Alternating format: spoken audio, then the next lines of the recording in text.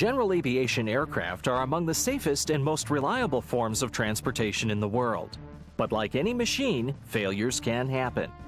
Your training is designed to introduce you to a variety of simulated systems and equipment malfunctions and give you the tools to cope with that rare occasion when a malfunction occurs.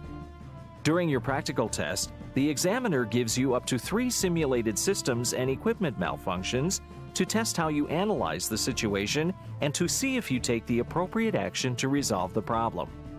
The list of possible systems and equipment malfunctions varies from a partial or complete engine failure to smoke or fire in the engine compartment.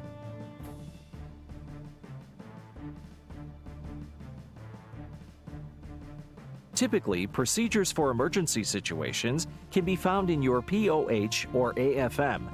However, it is impossible to cover every failure or malfunction. If your POH or AFM does not have procedures for a specific emergency, such as an asymmetrical flap extension, you must rely on previous experience, good judgment, and a knowledge of the manufacturer's published emergency procedures to form an appropriate plan of action. Remember, as in any emergency situation, your first priority is to fly the aircraft. You must remain calm, clearly assess the emergency, then respond quickly and accurately to fix the problem. While many emergency checklists are committed to memory because your response must be instantaneous, other situations are less critical. In this case, you have time to refer to the POH or AFM to determine the appropriate course of action. An example of an emergency that is typically not covered in a POH or AFM is the partial loss of engine power. The partial loss of power could be the result of any number of factors, including a mechanical breakage or stoppage of the throttle control, or even undetected ice. Depending on the degree of power loss and to what extent the performance of the aircraft has been compromised, you may have several different options regarding your course of action. If your aircraft is capable of maintaining altitude or climbing, you can continue your flight to the nearest suitable airport while monitoring engine instruments and looking out for an emergency landing site should the need arise. You should maintain at least best glide speed while you attempt to restore full power to the engine.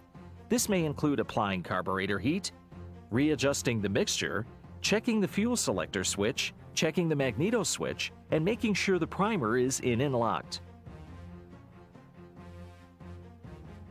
If you are unable to restore power, continue flying until you reach a suitable landing site. If your performance is severely diminished, you may have no other choice than to execute an off-airport landing. You should follow the emergency landing checklist outlined in your aircraft POH. It's a good idea to discuss emergency procedures for a variety of possible situations with your flight instructor. Your instructor can help you develop guidelines for systems and equipment malfunctions that are not covered in your AFM or POH. Reviewing emergency procedures on a regular basis and repeated practice with your flight instructor will also help prepare you for a real system malfunction or failure. In the unlikely event of a systems or equipment malfunction, your preparation can be the difference between confusion and a favorable outcome.